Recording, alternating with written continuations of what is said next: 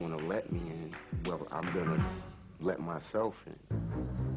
Dame went downtown, him and Jay, to John Street, found an office space, had somebody come paint the hallways up. We thought it was so hot, like marble walls. We would come to work, and I was feeling my executiveness, but it was wild, you know, because we were still kind of rough around the edges.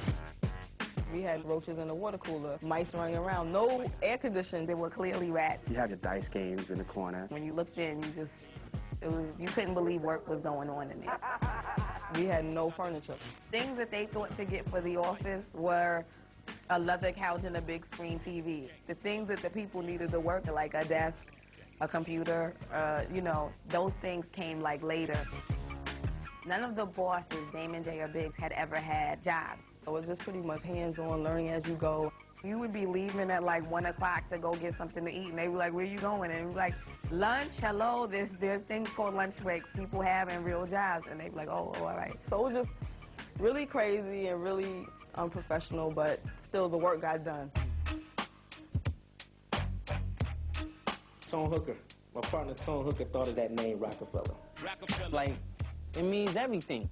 We took a white person's name and we we made it a black person's name.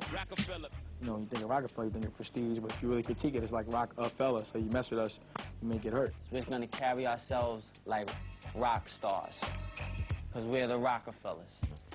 You look large to be large. That was the whole motto right there from the jump. We had all the Jay-Z jackets on, and we had the biggest limousine, and we got the license plates that say Jay-Z. We just did anything to make noise, anything to get some attention. If someone had a show, we would just bum rush the show. Jays just start rhyming, kill it, shut the show down.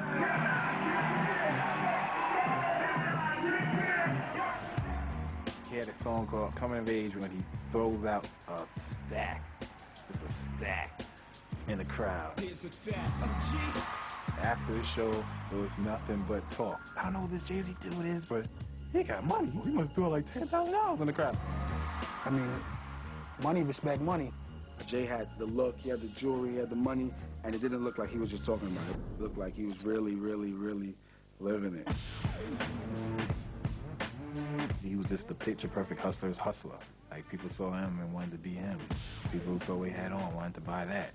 People saw what he drank, wanted to drink that. We're drinking Cristal, and then all of a sudden, everybody started drinking Cristal. People weren't talking about Cristal until Jay started doing it. That's like the Rockefeller lifestyle. You see the logo, you see the record, and you see the bottle of champagne. There was nothing acting about it. You know what I'm saying? That was just our lifestyle. Everything's just party, party, party. But at the same time, we was partying, we was promoting Roc-A-Fella. We were all a crew, and we all want the same thing. We all want Jay to blow. He had a lot of songs recorded, but that Presidents was like the one that everybody liked. He was just like, all right, let me just put this out.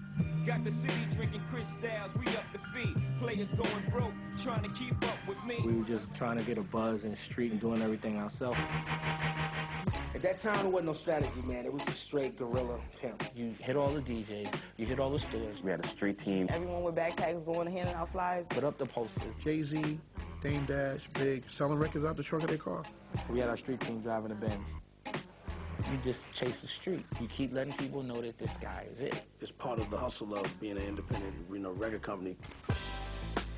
They pushed that record real hard, as hard as they could do it. He was doing everything he could, but he didn't know how to get his records on the radio. It was definitely a time where we need to somehow figure out how we can take this to another level. Jay was like, they won't give my records the, the, the light of day.